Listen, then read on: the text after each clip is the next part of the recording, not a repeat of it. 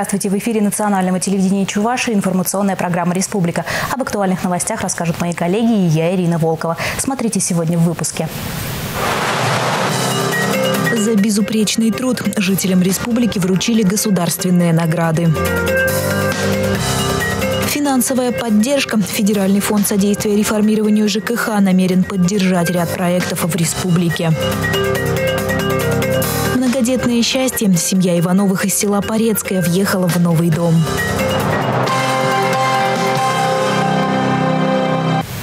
Фонд содействия реформированию ЖКХ поддержит проекты модернизации коммунальных сетей в республике. Такое решение было принято по итогам переговоров руководителя российского ведомства и главы Чувашии. Михаил Игнатьев принял участие в работе форума «Российская энергетическая неделя». Здесь обсуждали, как сформировать комфортные условия проживания. Тему продолжит Дмитрий Ковалев. От реализации проектов модернизации коммунальных сетей в республике ожидают большого эффекта. Снижение тарифов – ключевая задача. Федеральный фонд и правительство региона уже готовят совместные планы. Уверен, что те показатели, которые запланированы в рамках федерального проекта, они тоже будут выполнены. Сейчас мы э, переговорили с главой республики о том, что они будут и заходить в проект модернизации коммунальной инфраструктуры. Это важно. Я считаю, это одно из таких тоже подспорьев для того, чтобы в первую очередь э, самое главное, чтобы вот реализация этих проектов не позволяла повышать тарифы э, для граждан.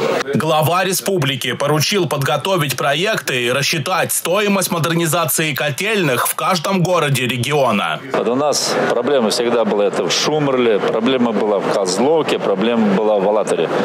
Вот мы сейчас ищем инвестора, концессионера, который будет вкладывать свои средства от общей стоимости проекта, это 20%. Мы с бюджета 20% вкладываем.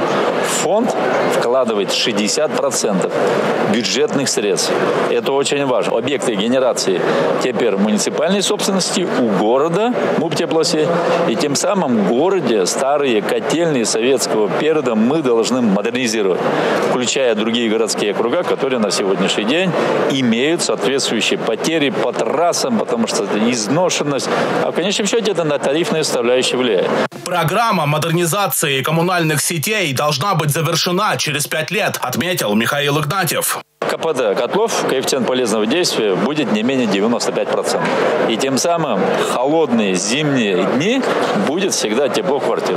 Во-вторых, касаясь строительства жилья, по новым правилам, по новым инструментам, у нас практически на стадии реализации 91 проект. Общая площадь жилья 1 миллион квадратных метров. В удельном месте, если возьмем, у нас 67% практически по старой схеме строят наши строительные организации и предприниматели. Застройщиков работающих с эскроу-счетами станет больше, уверены специалисты. Переходный этап будет непростым. В федеральном ведомстве готовы рассматривать каждую проблемную ситуацию. И если у застройщика есть сегодня проблема по тому, как отнеслись к его заявке на получение проектного финансирования в том или ином кредитном учреждении, мы готовы ее рассмотреть. С приглашением в том числе и руководителей банка, где значит, на сегодняшний день такая конфликтная ситуация возникла, и представителей субъекта, и, в общем-то, максимально оказать помощь, разобраться, где кто-то, может быть, что-то неправильно прочитал, что-то просчитал. Еще одна задача для регионов – ликвидация аварийного жилфонда. Реализация этой программы продолжится и в Чувашии. Дмитрий Ковалев и Андрей Шоклев. Республика из Москвы. Чтобы поощрить лучших, не нужен повод. Сегодня глава Чувашии вручил знаки отличия, почетные грамоты и благодарности профессионалам своего дела. Подробности у Дмитрия Ковалева. Не один десяток ролей сыграно Валентиной Ивановой на сцене театра. Но получив высокую награду от президента, даже актриса от волнения с трудом подбирает ответные слова. Очень приятно получить эту благодарность из ваших рук. Михаил Васильевич. Пользуясь случаем, хотела бы поблагодарить преподавателей Московского театрального училища имени Щепкина, где я училась. Ордена за заслуги перед республикой сегодня удостоился член Общественной палаты, руководитель фонда «Правопорядок» Александр Дельман.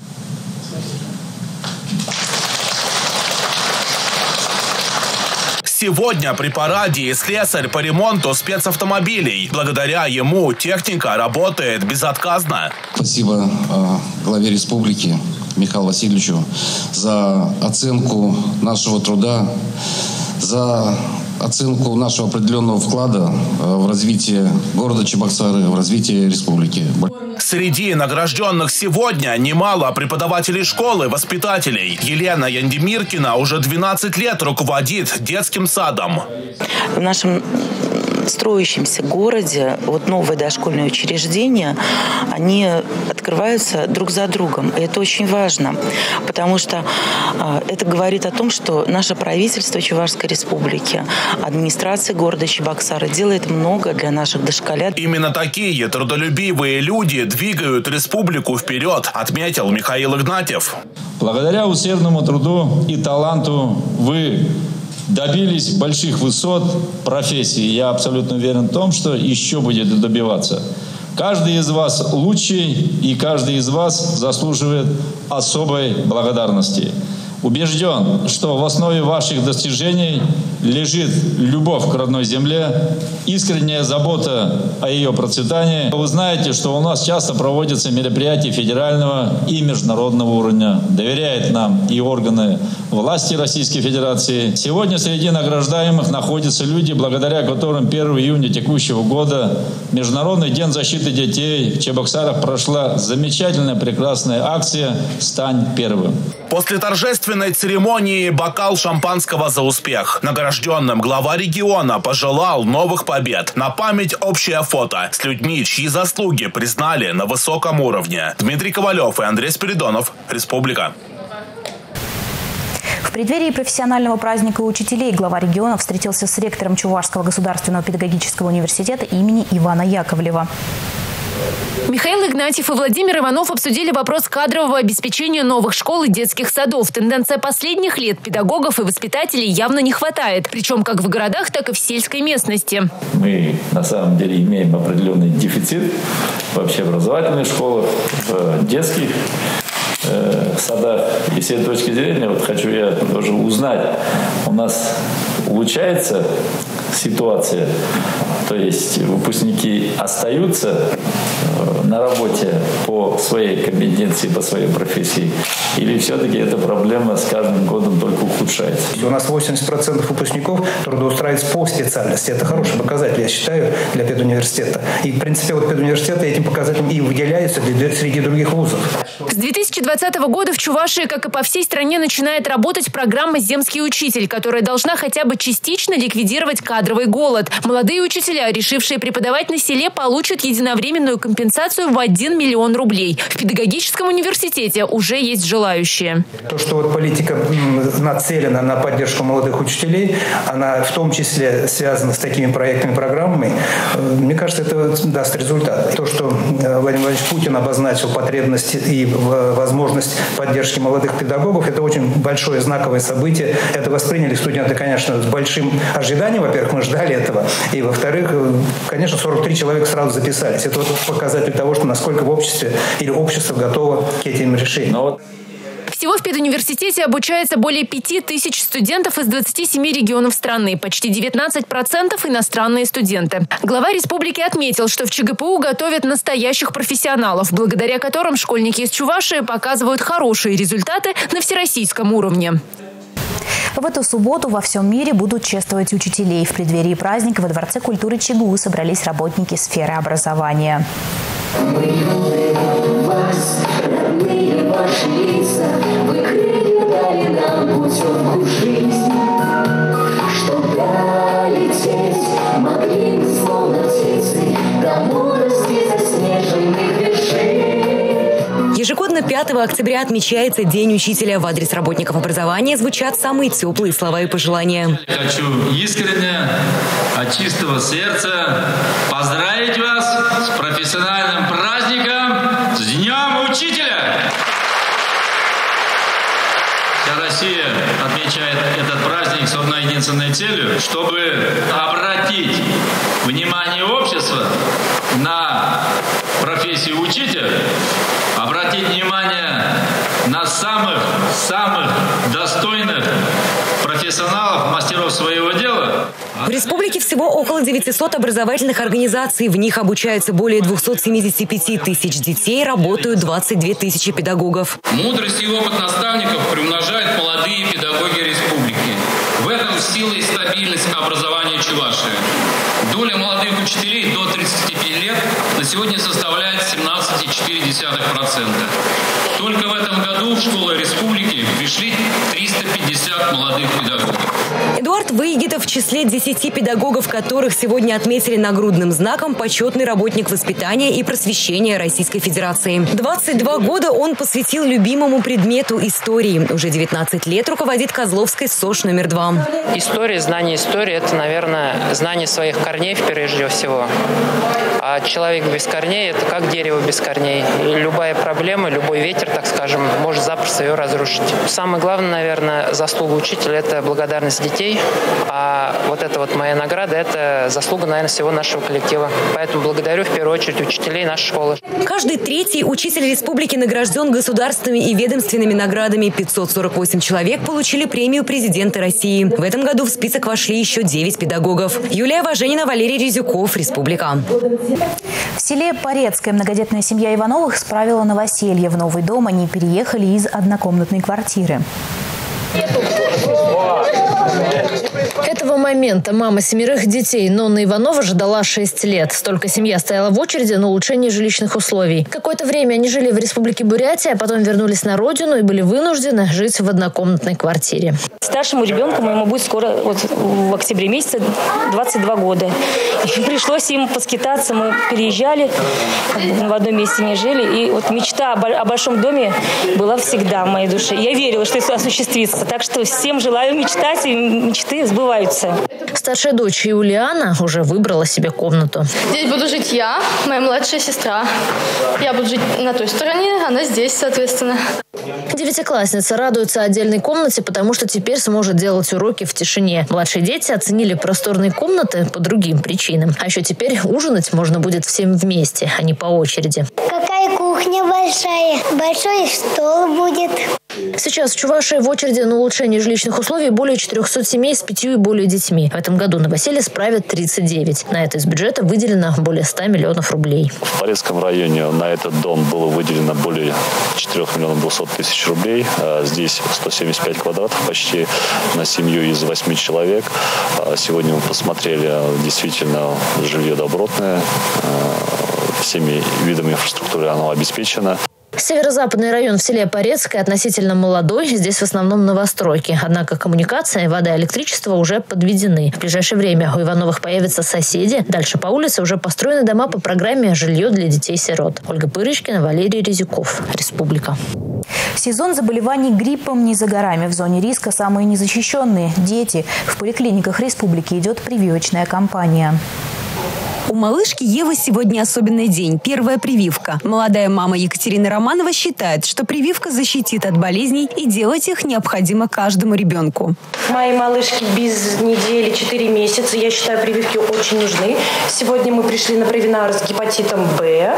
Так что делайте все прививки. Мы обязательно их будем делать все. Самый доступный и действенный способ уберечь своего ребенка от гриппа – это вакцинация. В организм ребенка вводится не живой вирус, а его фрагменты. И иммунная система быстро реагирует на это выработкой защитных антител. Мы вообще делаем все прививки. Но прививку от гриппа, так как сейчас можно, сезон, надо обезопаситься, сделали. Также у меня и старшая дочь, она учится в пятом классе, она тоже у меня привита полностью. Чтобы избежать эпидемии в пик заболеваемости, надо вакцинировать не менее 70% населения. Но по каким-то причинам некоторые не торопятся на прививку. А ведь сезон не за горами. Нам нужно привить около 20 тысяч детского населения. К сожалению, на сегодняшний день всего сделано прививок 7808. То есть это мало. Отечественная вакцина «Савигрипп» уже себя зарекомендовала. Она легко переносится детьми самого младшего возраста. Защищает от гриппа групп А и Б. Прекрасно работает. Хочу сказать, что прошлый год мы перезимовали ну, замечательно. Вот. И хочу сказать, переносится вакцина хорошо, э, она не содержит э, консерванта, то есть можно с 6-месячного возраста ее использовать. Иммунитет после вакцины всего год, поэтому эта процедура ежегодная. Прививка от гриппа входит в национальный календарь прививок и делается абсолютно бесплатно. Для семьи Сергеевых вопроса делать или не делать прививку своим детям не возникало. Они твердо решили сделать все от них зависящее для их благополучия. У нас ни температуры, ничего нету прививок. Переносим нормально. И в заключение совет специалиста для тех, кто все же сомневается, надо ли делать прививку от гриппа. Это единственный вирус из всех всей э, группы вирусов, вызывающих острые респираторные заболевания, у которого два мощных токсина. То есть один токсин нейроминидаза, который поражает нервную систему, могут быть кровоизлияния в жизненно важные органы, приводящие к летальному исходу. Вот чем страшен грипп. Поэтому надо родителям задуматься. Думать надо уже сегодня. Защитный барьер после вакцинации организм создает две недели. Наталья Мальчикова, Валерий Резюков, Республика.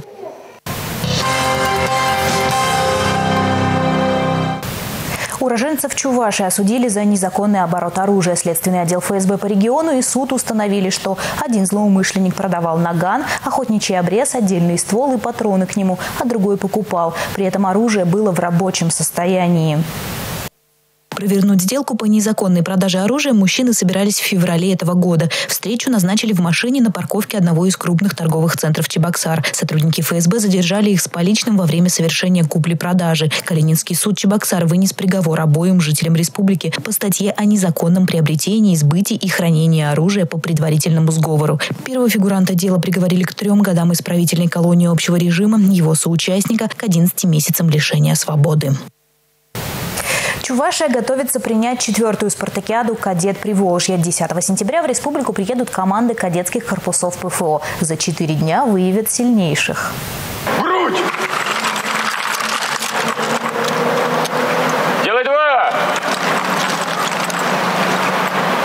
Больше тренировок, больше шансов стать лучшими. Воспитанники Чувашского кадетского корпуса оттачивают мастерство в строевой подготовке. Это одна из дисциплин. За четыре дня спартакиады им предстоит пройти и марш-бросок, на время собрать и разобрать автомат. В программе есть легкоатлетические соревнования и интеллектуальные конкурсы.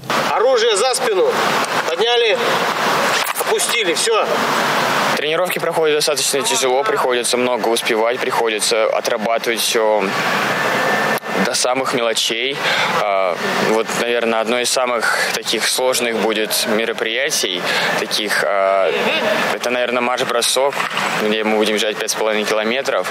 А, ну, так закаляется характер, так, так появляется коллектив, там мы становимся одной командой.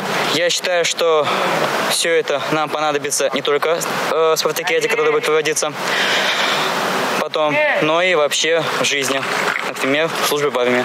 В команде 20 кадет, ученики 10 и 11 классов. Защищать честь Чуваши будут лучшие из лучших. Конкуренция ожидается серьезнейшая. На спартакиаду приедут воспитанники кадетских корпусов из шести регионов – Татарстана, Башкортостана, Удмуртии и других. А, ну, я надеюсь, что мы покажем ну, хорошие результаты. Надеюсь. Мы э, вот сейчас видите, что наши кадеты очень плотно готовятся к данному мероприятию. Верим в победу наших кадетов. Стоит отметить, что в прошлом прошлом году на этих соревнованиях ребята из Чувашии смогли войти в тройку лидеров в отдельных дисциплинах. А в начале этого года воспитанники 8-9 классов Чувашского кадетского корпуса стали победителями юноармейского оборонно-спортивного лагеря «Гвардеец-1».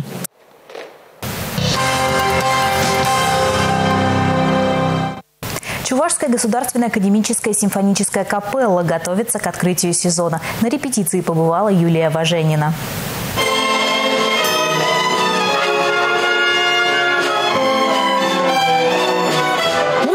Кинофильма «Ирония судьбы» или «С легким паром» узнается буквально с первых нот. Вот только немногие знают, что это произведение – творение рук народного артиста РСФСР, композитора Микаэла Тривердиева. Именно его творчеству и посвящается программа открытия нового сезона «Капеллы». Тривердиев известен не только музыкой, кинофильмом, а, в особенности, конечно же, это «17 мгновений весны», это «Ирония судьбы» или «С легким паром». Но Тривердиев писал очень много музыки. Э, Э, так что мы попытаемся приоткрыть завесу, что же еще пишет Ривердиев. Задача такая, чтобы именно мы могли войти во внутренний мир данного человека. Потом со всей очевидностью можно, э, понимаете, услышать такие выражения у зрителей. Как это было прекрасно. Вот это, видимо, одна из самых главных необходимых условий и целей нашего в целом творческого коллектива. Скрипичная, медная, духовая группы, ударные и даже арфа и орган. В арсенале симфонической капеллы представлена практически вся палитра инструментов. Только в оркестре задействовано более 60 музыкантов.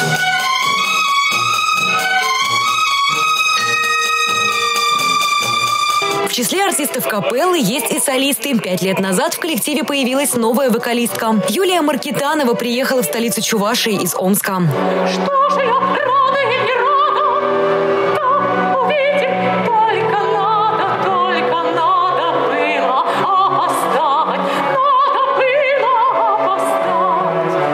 открытия сезона э, я буду исполнять э, оперу, монооперу Тривердеева «Ожидание».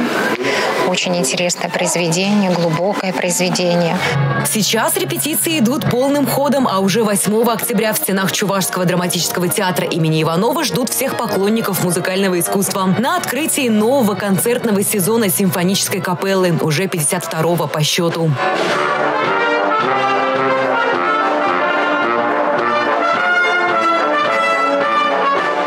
Юлия Важенина, Борис Андреев, Республика.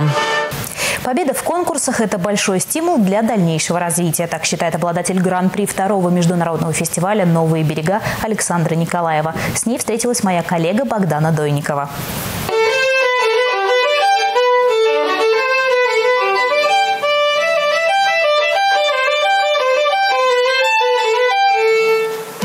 Праву считается одним из самых сложных струнных инструментов. Помимо абсолютного слуха, скрипач должен обладать особой выдержкой и упорством. Александра Николаева – ученица Чебоксарской детской музыкальной школы номер два имени Воробьева, лауреат многих конкурсов и фестивалей. Одна из последних побед – гран-при на втором международном фестивале-конкурсе «Новые берега». Участие в конкурсе было дистанционным, но даже через видео Саша смогла передать все свое мастерство и покорить членов жюри.